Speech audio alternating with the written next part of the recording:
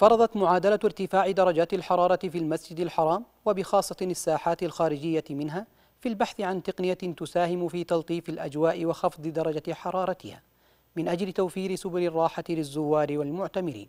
من هنا جاءت فكرة تقنية مراوح الراذاذ التي تعالج الحرارة وتقوم بتبريد الأجواء في الساحات الخارجية للحرم المكي الشريف. تشرف إدارة التشغيل والصيانة بالرئاسة العامة لشؤون المسجد الحرام والمسجد النبوي على مراوح الرذاذ بالساحات الشرقية والغربية والتي يبلغ عددها 228 مروحة موزعة على جميع ساحات المسجد الحرام.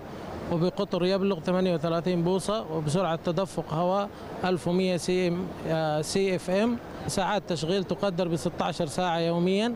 تبدأ من قبل أوقات الصلوات إلى انتهاء صلاة التراويح وتغطي أغلب أوقات اليوم و...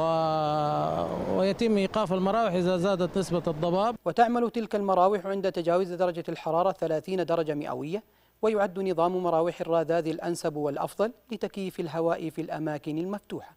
كما أثبتت الدراسات قدرتها على خفض درجات حرارة الهواء الخارجي إلى أكثر من تسع درجات مئوية. مميزات هذه المراوح أنها صديقة للبيئة بحيث أنها تستهلك ربع ما تستهلك من طاقة كهربائية اللي هي المكيفات العادية الموجودة في المنازل لذلك هي داعمة للبيئة و ثاني قلة ثاني أكسيد الكربون الصادر منها. صارت تخلينا نصلي تراويح برا وبردت علينا وخلتنا نصلي بالحانة يعني برا وسعت علينا.